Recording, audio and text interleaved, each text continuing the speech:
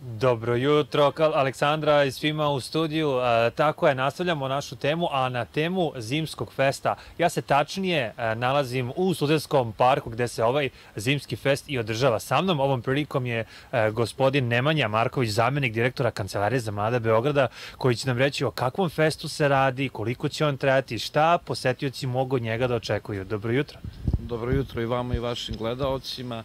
Zimski fest je fest u organizaciji grada Beograda i Kancelarije za mlade grada Beograda u okviru Beogradske, Beogradske zime. E, tokom tri dana trajanja, juče je počeo ovaj fest, tokom tri dana trajanja ovde imamo market sa domaćim preduzetnicima, našim beogradskim preduzetnicima koji izlažu svoje proizvode od hrane, piće, umetnina i tako dalje. Zatim Kao što, što vidite, iza nas se nalazi bina na kojoj nastupaju DJ-evi pop i rock e, grupe.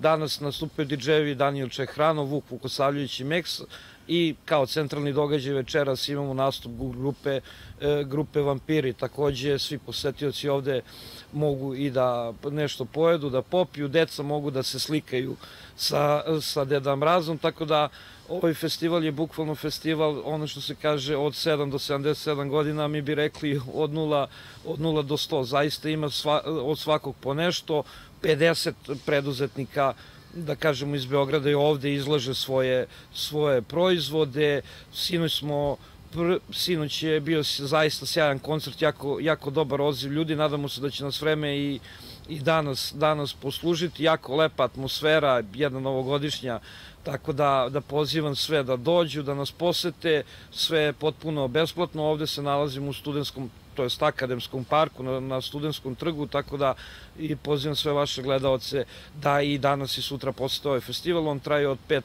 5 časova, odnosno 17 časova popodne do 22 časa. Ovo je vaš prvi festival i ako sve bude u redu, možemo ga možda i očekivati narednim, narednim godinama. S obzirom kako je sinoć bilo, baš smo pričali i mi u kancelariji, nadamo se, nadamo se da će ovo da postane, postane jedna tradicija.